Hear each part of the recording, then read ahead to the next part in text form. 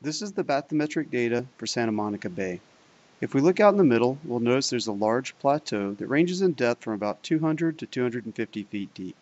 Let's zoom in a bit. In the middle of this plateau is a large area of rocky reef. This is well known to fishermen as short bank, but to the best of my knowledge, no one has ever done a technical dive here and taken any video or pictures to document what's down there. Looking at this area, the most interesting topography appears to be over on the left-hand or west side. Let's zoom in a bit more.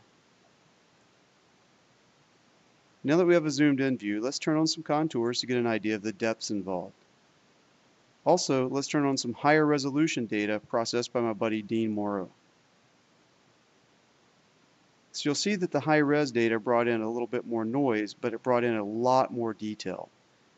So it looks like there's possibly a wall right here, uh, various rocks, maybe a sandy area in the middle, and some more rocks along the eastern edge. Let's take a look at this in 3D.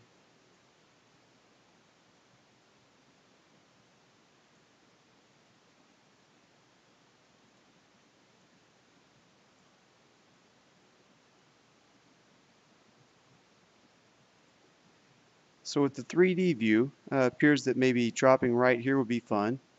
Maybe go along this wall, check out the rocks over here. The current generally flows west to east or left to right in this picture. And schools of rockfish generally hang out on the upcurrent side of structure. So we may find some nice schools of rockfish over on this side. Maybe spend 15 minutes in this area. Spend five minutes or so scootering across the sandy area.